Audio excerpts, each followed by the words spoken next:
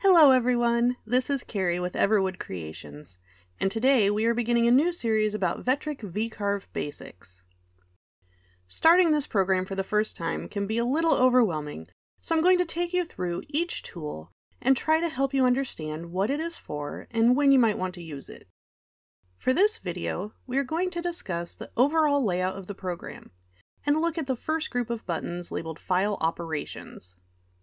I'm using Vectric VCarve Pro 9.5 for this tutorial, so keep that in mind if you have a different version. Now first thing, when you open up the software, you get a kind of quick start menu. The screen has a lot of options on the left that will help you get started. First is Startup Tasks. This section allows you to either begin a new file or open one you have previously saved. Below that is a list of recently opened files, giving you quick access to the files you've worked on most recently.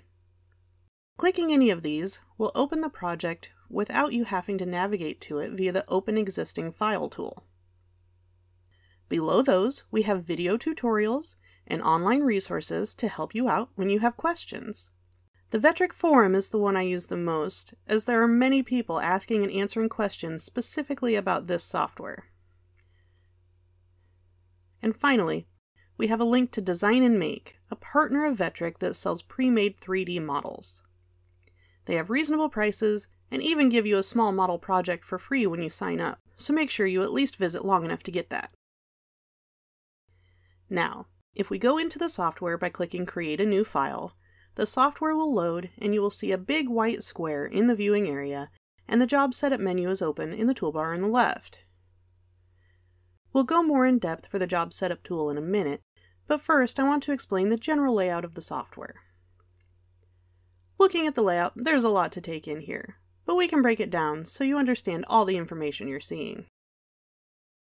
Up here we have the top menus. Many of these menus have functions available elsewhere as well, but they're a standard part of the view and will always be accessible no matter the view you're looking at, and also contain overall software functions. To the left, we have the Main tab window. You can see at the bottom that there are four different tabs to choose from that change which toolbar is displayed. Drawing, Modeling, Clip Art, or Layers. At the top of the toolbar, you have two small buttons. The first lets you switch to the Toolpath toolbar, this hides the left toolbar and opens the right one that has the toolpath options in it. If you click it, you will see the word drawing, or whichever tab you were on, that lets you open it back up. But you will need to click the same button on the toolpath toolbar in order to switch back to the original view. You can also switch between the two toolbars with the F11 and F12 keys. Next to that, we have a small pin that is the Auto Hide button. Clicking it once minimizes the toolbar unless you access it. If you click it again, it will embed the toolbar into your display so that it's always there. I prefer to always have it showing, but it's down to personal preference. Back to the top. Over the viewing area, we have two tabs labeled 2D and 3D. This shows you what your project looks like in each type of view. We generally do most of our work in the 2D tab, but once we have toolpaths, we can use the 3D view to see what it looks like. You can keep them separate like this, or you can view them both at the same time, depending on your needs. If you're doing a double-sided project, you will see two icons that represent how the material will be flipped, and which side of the material you are currently working on. The little arrows represent the current section. If they are up and down, then it will flip the material vertically, if the arrows are left to right, then it will flip it horizontally. This can always be changed in the Job Setup menu if you need it. To toggle to the opposite side of the material, you can hit this button, and you can see that the arrow switches from pointing at the top to pointing at the bottom, and our rulers turn yellow for an additional indicator that we've moved to the bottom of the material. Simply click it again to go back to the top or use the keyboard and hit the numbers 1 and 2 to see the top or bottom respectively. Next we have a layer menu that allows you to quickly switch between layers and turn them on or off. It will always default to layer 1 when you begin. Here we have a set of three snapping toggle switches, geometry snapping, smart snapping, and grid snapping. geometry snapping moves the cursor to certain positions when drawing. It snaps to object centers, endpoints, midpoints, intersections, and such. Smart snapping provides you with guides while drawing or moving objects to help you align things. Grid snapping puts a grid of points on the material to help you with spacing and such. We'll go more in depth into the snapping options in a later video, but generally I prefer to leave geometry and smart snapping on while working, unless it's hindering something specific I'm trying to do, in which case a quick click turns it off and then I turn it back on when I'm done. Next we have some viewing buttons that change the way things are displayed on your material. When selected, the Pan 2D View button allows you to grab the material and move it around with the mouse.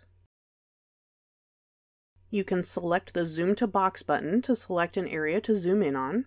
Just click the button, then draw a box around the desired area with your mouse, and it will fit just that selection to the entire viewing area.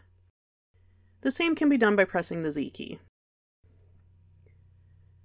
The Zoom to Drawing Limits button changes the view to include everything you have on the piece, allowing you to see everything at once. You can also do this by hitting the F key. And finally, the Zoom to Selection button allows you to select an object and zoom in on it, which can also be done using Ctrl F. Here we have 2D toolpath drawing toggles.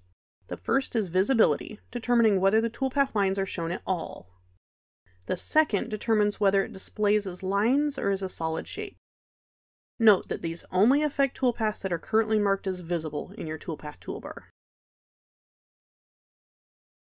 And here we have the toggle for showing the material thickness in the 3D view.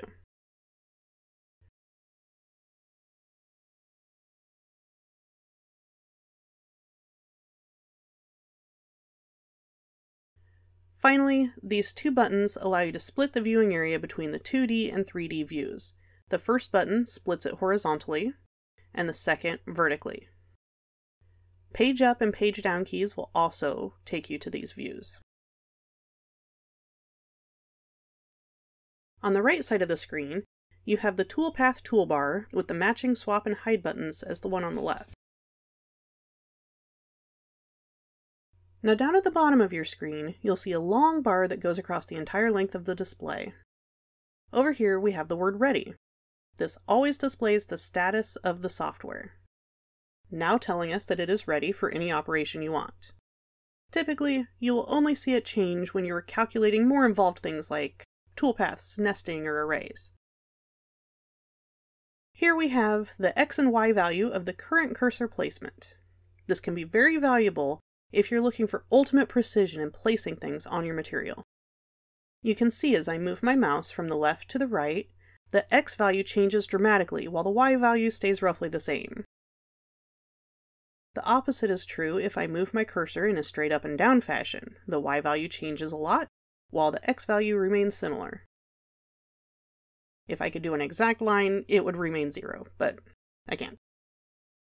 For these measurements, the center of the material is considered 0, 0, and the numbers indicate the distance traveled away from that center point. And finally, if you have an object currently selected, you will see an exact dimensions and the layer it is on listed here. Selecting multiple objects will give you the dimensions of the boundary of all the selected objects.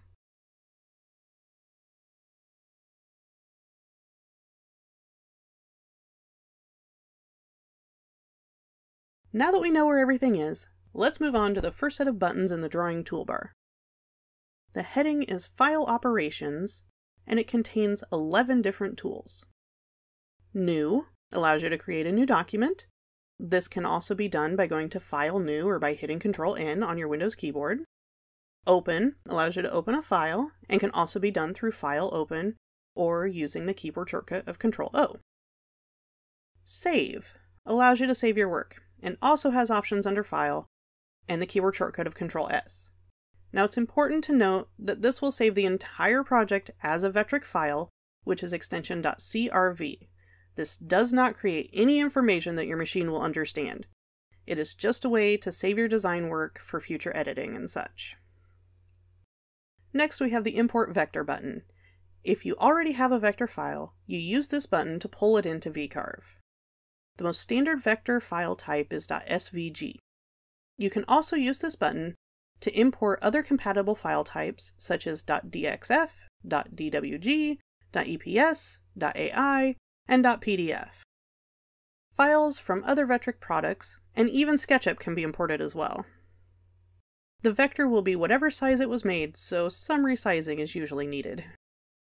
The Import Bitmap tool can be used to bring a picture into your space. While the button says Import for tracing, you can also import a picture to use as a reference tool. Here is the list of image types that can be imported with this tool. For a more detailed explanation, check out our Trace Bitmap tool and cleanup video, linked up top. Now for one of the most important tools in the software, we have the Job Setup tool. This tool automatically opens when you create a new project, but this button allows you to change the settings at any time, though it may require you to recalculate your toolpaths if you've already created some. Let's take a closer look at the options here. First is the job type. You can select whether your project is single or double-sided, or if you're creating a rotary file. Simply put, are you going to carve on just the top, the top and the bottom, or is it a rotary project? It is important to select the right option here because certain features are only available to certain job types. The job size section lets you put in the width, height, and thickness of the material you're carving on. In general, when looking at the machine straight on, the width will be the left to right, or the x-axis, and the height will be the front to back, or the y-axis, while the thickness is up and down, or the z-axis. You can also change the unit measurement if you prefer metric, and this will change the measurements for the entire project. Z0 position lets you decide if the tip of the tool will begin by touching the surface of the material or the machine bed. Which you use will depend on the project you're working on. I always zero to the material surface as I mostly carve designs in wood. It's my understanding that other projects that require precise thickness may benefit from zeroing to the machine bed. If you're working double-sided, you will have a zero off same side checkbox as an option, allowing you to determine if you want the software to use the same physical location for zeroing to either side. Next, we have XY datum position. What is a datum, you might ask? It's just a fancy way of saying starting point. Where do you want to start machining from? You can choose from any of the four corners, the lower left being the most popular, or from the center. Personally, we have found better accuracy and placement when we set the starting point to the center. We started using the lower left corner, but found that occasionally the measurements were a bit off and the result would be off center. By setting our starting point to the center, even if the measurement is off, it is off equally on each side. If you need a starting point other than one of those choices, you can offset it by checking this box and entering the values here. If you are working double-sided, here is where you will choose which direction your material flips. Design scaling is a feature that lets you change the size of your design to match your new job dimensions. Just check the box and the design will automatically change to fit the new space.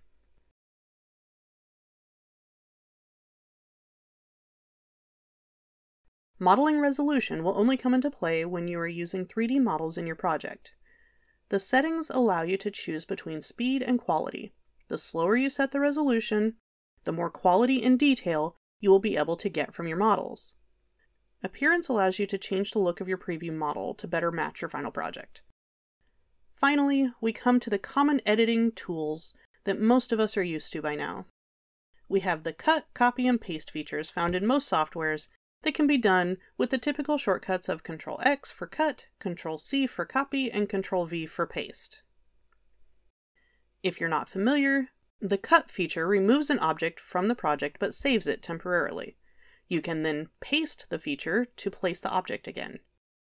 Copy does the same thing, only it doesn't remove the original, it just makes a copy of the object for you to paste in the document. If you're making a change you're not sure about, I highly recommend making a copy of the object so you will always have the original to come back to if it doesn't go well. Finally, we have the all-important undo and redo buttons. This allows you to quickly correct a mistake you make while working on your project.